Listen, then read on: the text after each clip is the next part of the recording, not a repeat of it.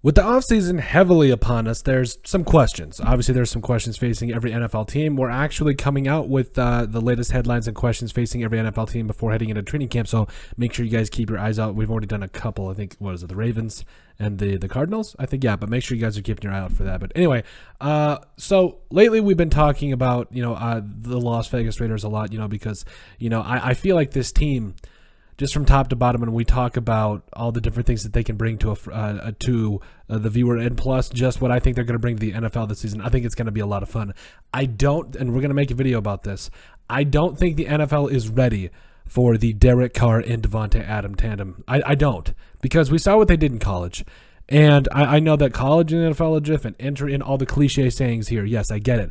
But at the end of the day, it means something completely different uh, when you talk about what it means to have a relationship in the college to get you to that point to the NFL, and then now coming back and being a part of it. These guys are grown men, uh, and I fully expect them to be uh, to have a special uh, a season moving forward. Now, I'm really excited. I think they're going to be uh, very, uh, very explosive. Uh, but the question with that is, you know, you talk about getting Davante Adams, you talk about Derek Carr in Las Vegas. You also ha- talk about having a guy like Josh Jacobs, Hunter Renfrow, Darren Waller enter in all the, the weapons that the Raiders have right now.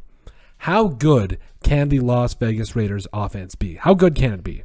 Well, I, I like I said, I, I'm I'm so excited because when you talk about the, all this different things that you're looking at in terms of this offense, uh, you know, I just really feel like now. I, I, another the question, by the way, is a little bit of a side note: is who's going to be wide receiver number three?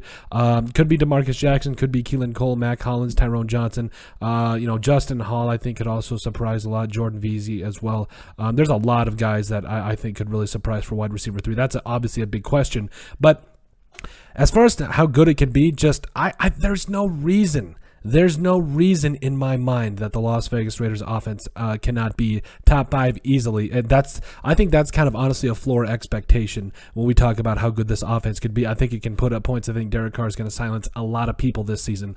The biggest question to me really is the offensive line. Kolton Miller, uh, I'm, I'm, I, he's just continues to be a rock. Uh, you talk about a couple years ago, what he allowed, like 16 sacks, like first in the NFL according to PFF or something like that. And now he's one of the best left tackles in the game. People are sleeping on Denzelle Good. I don't get it. Uh, you know, I've had a lot of people bring him into my attention, done a little bit of film study and uh, a little bit of my homework on this man. I think if he uh, recovers from that ACL, he's going to be, yeah, he's going to be a big part of this offensive line. I always have Dylan Parham starting in here because I'm, I, I, I'll, I'll, I'll just bring it here real quick. I am I'm a Vikings fan as well uh, as a Raiders fan, so I just I've dealt with the Vikings just not playing rookies at offensive line spots that clearly they should have been playing. So I just and I'm doing it with the Vikings depth charts from now on as well. I'm just putting it on the table that these players, these rookies, deserve a shot. They need they deserve a look to be actual starters in the NFL. So we'll bring it back here. That's my explanation for always putting Dylan Parham as the team starting center over Andre James, who actually played I think according to PFF from week seven on like played like one of the best centers in the entire NFL. But after that, you know, uh, I, I, think between James and Parham, you got to find a way to get Parham on the field. If that means starting James fine, put Parham at right guard, or uh, you know, or, or, put him at left and then put Denzelle at right. Doesn't matter. The point is, the biggest question is offensive line. What are you going to get out of Alex Leatherwood? Um, you know, and I got to be honest. I have been uh, kind of a harsh critic of a guy like Alex Leatherwood, but I realized that that's really not the way we need to go about this because at the end of the day, these guys are people. Yes, do they get paid millions of dollars? Yes, I understand that. But at the end of the day, they are still like you and me. They put on a jersey. Uh, the only difference is, is you know they get paid millions and you know they get to have uh, have the dream job. That's what it is. And you know it. There's a lot of guys. And there's a lot of players that don't pan out, and they still deserve the respect that I would give any of you on the street corner. So you know I feel like this is a team that it can be special. Uh, yes, the offensive line has its question marks, but I actually think that to a degree, I think some of those will get solved pretty quickly uh, under uh, Josh McDaniels, Z- Dave Ziegler, and company. So uh, I'm really excited. Uh, you know, you also talk about the running back room.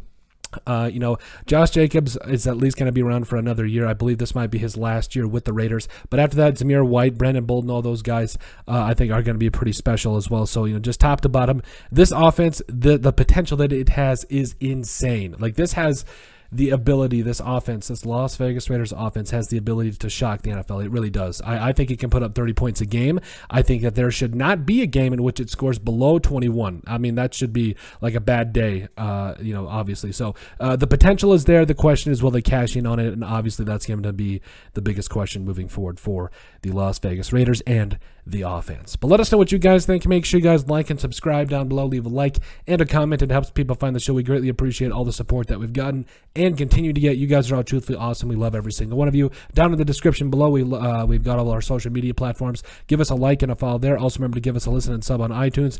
And finally, if you have anything else you'd like us to cover, send us an email at thesportsbp at yahoo.com or put in the comment section down below, and we would love to cover it. But let us know what you guys think about how good the Las Vegas Raiders offense can be.